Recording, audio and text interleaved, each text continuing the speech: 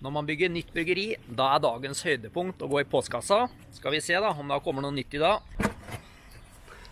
Haha! Ny pakke!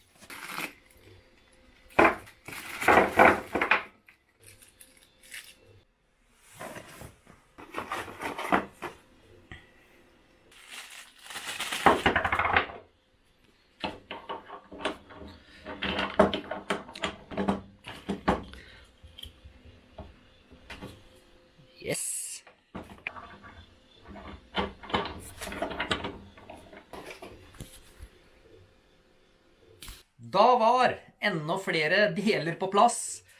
For det er en ting som er en stor del av det å bygge nytt bryggeri. Det er å vente på deler. Det er veldig mange som følger Hermsbygginga mi her nede, og jeg får stadig spørsmål om når jeg er ferdig, når jeg kan begynne å brygge på det nye bryggeriet.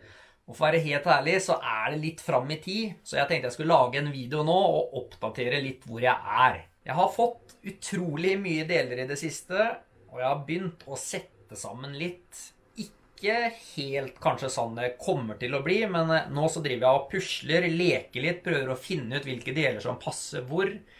Og prøver å finne ut litt eh, avstander mellom kjelene, mellom komponentene. Jeg skal jo kjøre hardpipes, altså harde rør. Jeg kunne brukt silikonslanger, hadde gitt meg mye mer fleksibilitet og frihet til hvor jeg plasserer ting. Men når du skal kjøre faste rør, så blir man litt avhengig av standardstørrelser. Så det er enda litt mer pusling, men det er, ja, det er Lego for voksne, og det er jævlig moro!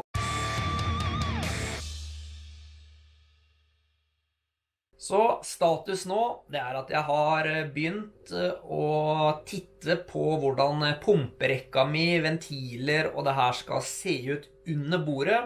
For jeg fikk nemlig et tips av Thomas fra Hopprod Garage. Han har jo bygd noen sånne her systemer tidligere om at jeg bør begynne under benken og jobbe meg oppover. første jeg tenkte, det var at jeg skulle begynne med gjennomføringen i kjelene, og så jobbe meg nedover. Men det kan bli problemer i forhold til det her med, som jeg nettopp snakka om, med standardstørrelser på deler og sånn. Så Derfor så begynner jeg under, og så ser jeg litt hvor jeg kommer ut i forhold til hvor jeg skal gå opp gjennom benken og inn i kjelene. Jeg kommer til å bruke to ulike dimensjoner på røra på det nye oppsettet. Jeg kommer til å bruke 25 mm før pumpa, og så kommer jeg til å bruke 19 mm etter pumpa. Grunnen til at jeg vil ha litt større før pumpa, det er for å kunne fòre pumpa mest mulig, mens jeg etter vil strupe litt for å få litt mer trykk i røra og litt bedre flow. Og delene skal jeg sette sammen med såkalt tree clamp-koblinger. Det fungerer sånn at du har to flenser her. De er 51 mm. Så legger du en pakning i midten. Da er det et spor her som pakningen skal ligge i. Tar de sammen, tar en kobling. Da passer den perfekt rundt flensen. Og så skrur vi det her sammen. Og da tighter vi det, sånn at det her blir helt tett. Det her det er veldig vanlige type koblinger i næringsmiddelsammenheng, i matproduksjon og sånt noe.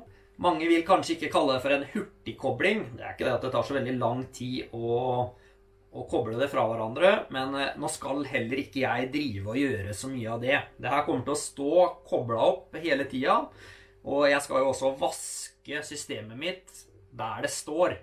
Kommer til å komme nærmere inn på det senere. Det får også bli en del av det prosjektet her. Vaskinga er en stor del av brygginga. Men jeg kommer ikke til å gå så nøye inn på det nå, men jeg kommer til å ha såkalt SIP-løsning. altså clean in place. Og så er tree clamp Det er tøft. Det ser bra ut. Så Herms-bygginga den holder på i beste velgående. Det er bare at eh, det er litt sånn waiting game akkurat nå. Mens jeg holder på, så finner jeg ut hvilke lengder jeg trenger på de ulike røddelene og må inn og bestille. Og så er det å vente noen uker. Det tar noen uker å få delene fra AliExpress. Og så når de kommer, så kanskje jeg finner ut noen nye deler. Så sånn holder jeg på litt nå framover til eh, til vi begynner å se enden på det. Så blir det gøy etter hvert nå skal begynne å gå løs på kjelene og begynne å punche høl i dem. Det jeg kan gjøre i mellomtida, selv om jeg holder på her nede og prøver å finne ut av ting, det er at jeg kan lage en video snart om de ulike komponentene jeg skal bruke. Det er jo både pumper, ventiler, varmeelementer, hva slags uh, styringsenhet jeg har tenkt å bruke for å styre bryggeriet og alt det her. Det skal jeg ta og lage en egen video på.